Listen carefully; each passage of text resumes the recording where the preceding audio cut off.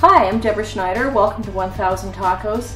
Today I am cooking authentic Tijuana style standing in line at the border churros. If you've ever spent four hours standing in line at the border, these probably saved your life. I know they saved mine.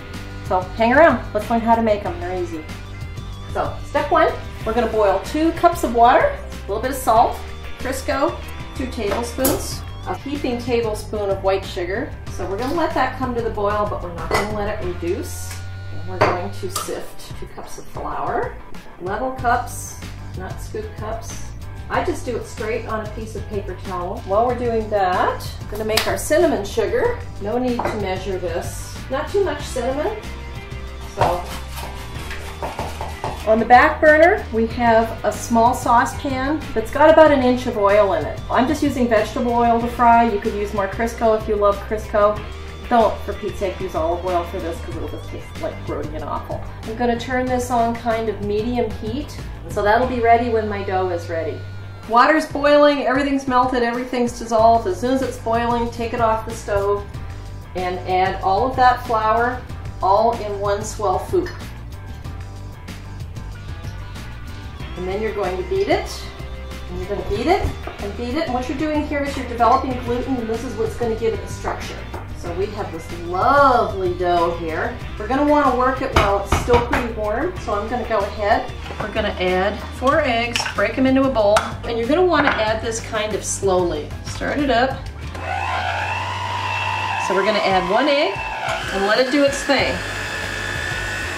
And I'm gonna take my spatula, start pushing the dough down inside. So it all gets an equal amount of egg mixed into it. And what you're trying to do is you're going to beat in one egg at a time. Okay. I'll try this at home.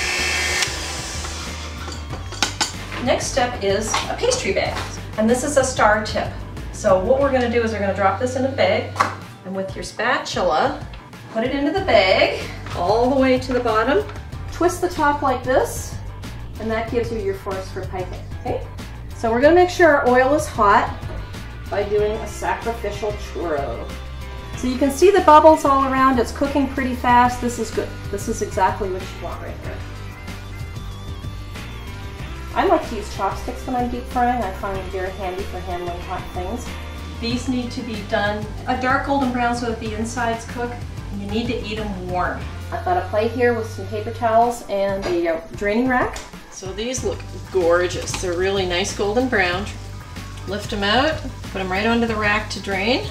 Once your churros have drained for a while, you want to take them off and start putting them on your serving plate. And then I sprinkle them with a little bit of sugar as we go and a little bit of the bar chocolate, the most fantastic addition to these that you've ever had. Traditionally in Mexico, they would have hot chocolate and dip these in the hot chocolate and eat them. This is way faster and easier. So just think of it as a happiness delivery system that you can make in about five minutes. Enjoy!